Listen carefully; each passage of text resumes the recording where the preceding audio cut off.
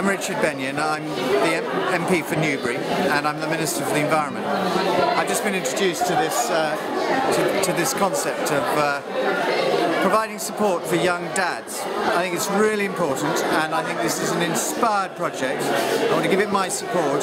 It's so important for young dads who find themselves doing what they're doing alone and thinking that they are uh, facing these problems alone uh, to understand there are many others like them and that through an organisation like this they can find the support they need and I want to do what I can to help promote that.